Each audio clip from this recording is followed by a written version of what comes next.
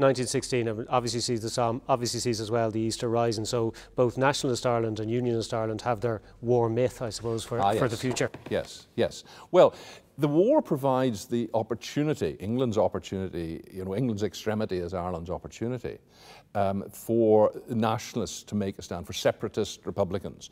And when Redmond offers the volunteers to fight everywhere, a, a tiny minority breakaway, uh, less than 10,000 of what, 180,000. Now this begins to grow, and it begins to grow as the war seems to be lasting indefinitely. It's not over by Christmas.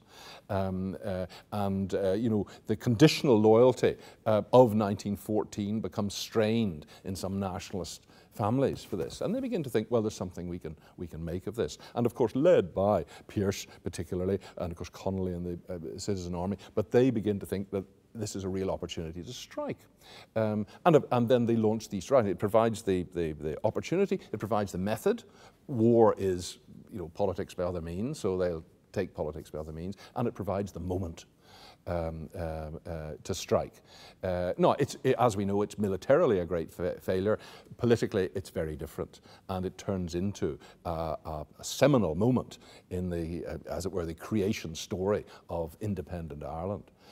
That is, of course, balanced by a similar creation myth, if you want, which emerges from the Somme.